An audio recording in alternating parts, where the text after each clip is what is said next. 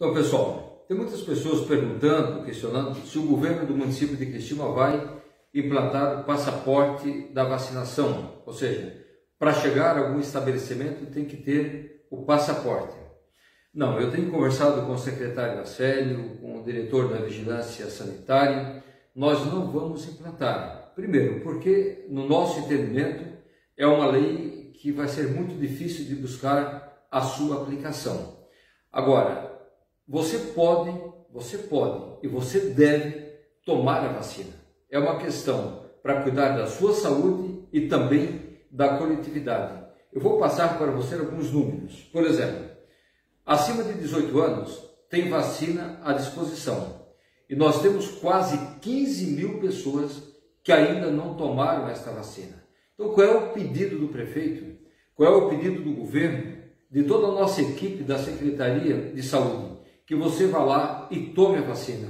Ah, prefeito, mas eu não posso tomar a vacina porque eu estou trabalhando.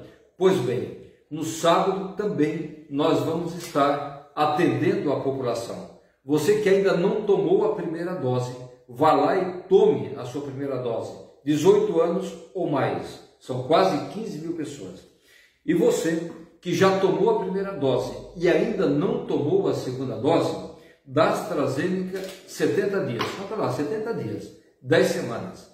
Da Pfizer, são 84 dias, portanto, 12 semanas. Tomou a Pfizer, 12 semanas, vá lá, tome a segunda dose. E a Coronavac é de 21 a 28 dias. Então, tem vacina para todos. Então, qual é o pedido do prefeito? Qual é o pedido da população?